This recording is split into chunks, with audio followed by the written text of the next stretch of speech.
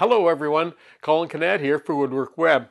Today I'm going to show you how you can use circular saw blades in your table saw. A while ago I made a video on 10 inch blades for the table saw and that little circle that you see on your screen is the link to that video. Today, I'm going to show you how you can use circular saw blades in your table saw and what kind of results you're going to get. Now, if you're new to the channel and you enjoy woodworking, I invite you to subscribe, click that little notification bell, uh, and then you'll see all the next videos that I release. Let's go over to the table saw. Today, I want to look at two circular saw blades. First is a ripping blade, a 24 tooth, the second is a cross-cutting blade with 40 teeth. And if you remember the last video, we said ripping blades have fewer teeth and have large gullets. Cross-cutting blades have many more teeth and they have much smaller gullets. What a lot of people don't realize is that the arbor on a circular saw is the same arbor as is on most table saws. So you don't need any adapter. You can just put those blades on and they fit on just like a regular 10 inch blade.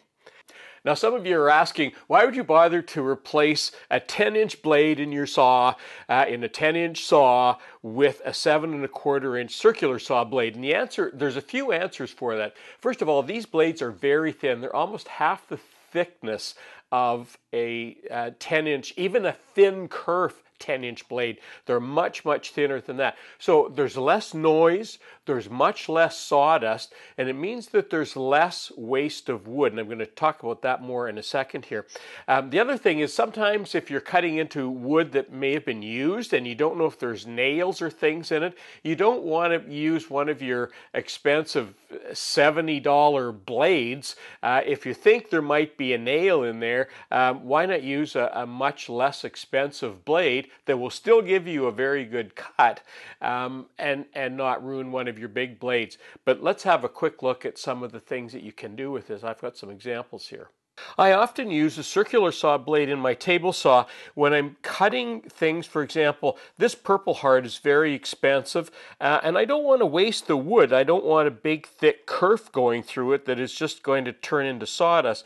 So when I'm cutting smaller pieces, uh, and this is holly, I don't have a lot of holly, uh, and you can see it makes a nice small thin cut. Uh, there's a strip of purple heart and that's the kind of thing that you can do when you're using a thin blade like this. Of course you can get thinner and thinner cuts Okay, I've installed the ripping blade in my saw, and one of the disadvantages is you can only cut, in my saw, I, the, the deepest I can cut is one and three quarters of an inch, which for a lot of things is just fine.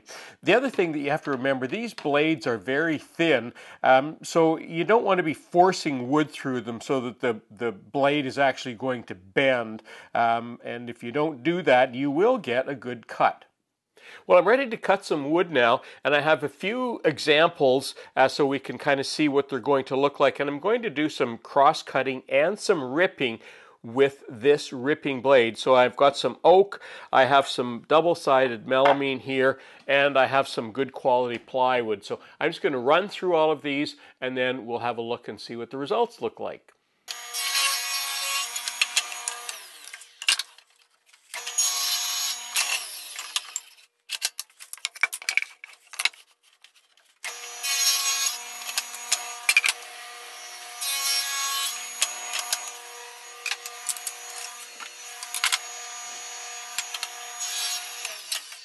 Let's have a look at our results here.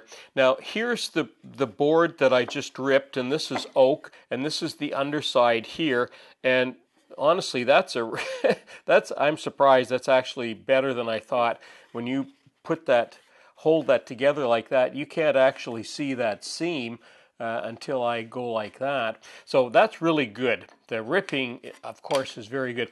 Uh, the cross cutting, not so great. Uh, and you can see the little um, tear out there at the bottom, especially when I hold that together like that. So, um, you know what? It's um, depending on what you're doing, that may be acceptable for what you're doing.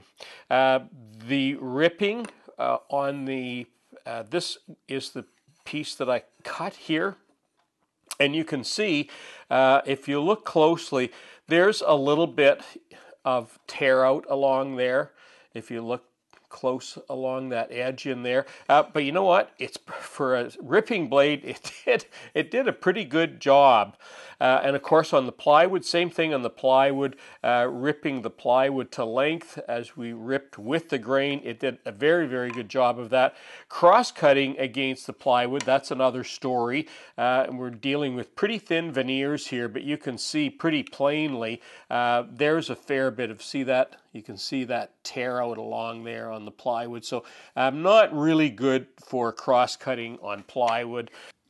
Now, my experience with using the seven and a quarter inch blade, it's more of a rougher cutting blade. It doesn't give you um, really super clean cuts on, on many things, uh, but it's a nice, quick, easy blade. And if you take your time with it, you'll get some good cuts. Now, in my last video, somebody asked, why can't you use a ripping blade, or a, sorry, a, why can't you use a cross-cut blade to rip? And that's a really good question. The reason you typically don't do that, two reasons. The first one is you have to go much slower with a cross-cut blade when you're trying to rip with it because it's got that many more teeth.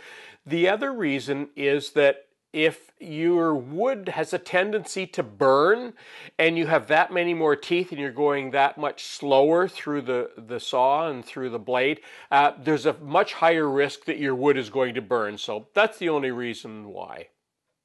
I've installed the 40 inch blade. In this case, I am going to do some ripping and we'll do some cutting and I've got some, put some marks on there so we can line these up and see.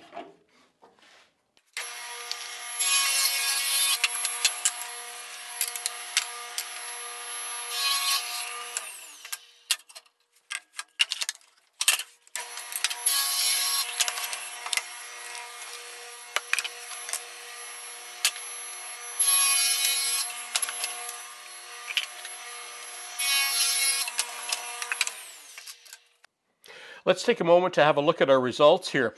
First of all, this is a cross-cut blade, so let's turn that over because this is the where we can tell, and you can see that there's still a tiny bit of tear out there, but it's much, much cleaner than the other cut that we made. Uh, and the ripping cut, line that up there. There's the ripping cut, and it did an it did an okay job of ripping. And in this case, it didn't even burn the wood, so it it's fine. It, it worked. It was just a little bit slower, that's all. Let's have a look at the other pieces. There's the, uh, the double-sided melamine, and of course the top always looks the best, uh, but when we flip it over, and there's the 40-tooth blade, and even with that, you know, it's still not you can see how you really need a specialty blade to get a good cut there. So on the back side, uh, not very good at all. Uh, and it's nice and clean. There's the cut that I just made right there. Uh, oh, sorry, there's the, yeah, that's right, that's the cut. So there's the top of it. So it's going to be clean anyway, but there's the back of it, and you can see it's, it, that's a very nice clean cut, and that's a cross, so it actually does do a very nice job of plywood.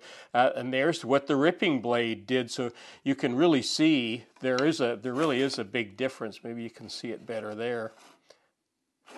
Anyway, um, so that's the cross cut, and that's the, the that little 40 tooth blade. Now the ripping side um, of the plywood, of course, it's going to do a good job. It looked like there might, no, maybe it's just a blemish there. I wondered if it burned the plywood a little bit, but uh, maybe not. Um, anyway, it did, of course, it did a nice, just a little bit slower, did a nice clean job. Now there is uh, lots of lots and lots of different circular saw blades on the market. I prefer these uh, Freud Diablo blades. They're easily come by. They're readily available, and you know what? They're because there's so many different vendors. They're often very competitively priced. So um, you know when you get them that you're getting a good quality blade. If it's a no name, if it's a name you don't know, then you really don't know what the quality of the blade is. The other thing I wanted to tell you about there is something on the market. You may see it. Uh, it's called a plywood blade, and it has very, very fine teeth, almost like this. Of course, it's a circular saw blade, but very, very fine teeth. I bought one of those blades several years ago, and I looked around to see if I still had it. I used it once. It did such a terrible job um, that I don't use it, and I can't even find it. I don't even know where it went. Um, but I don't know what plywood it's designed to cut. Um, but you will find different things like that. So what I'm showing you here is what I use and it's not right or wrong. It's just what I use. And now you've seen the results. Um, so you can make, make your own judgments on what you want to purchase or if you want to purchase, if it's something you ever want to do.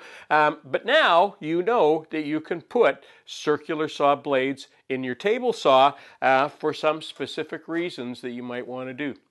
I'm Colin Knecht for Woodwork Web. Thanks for watching.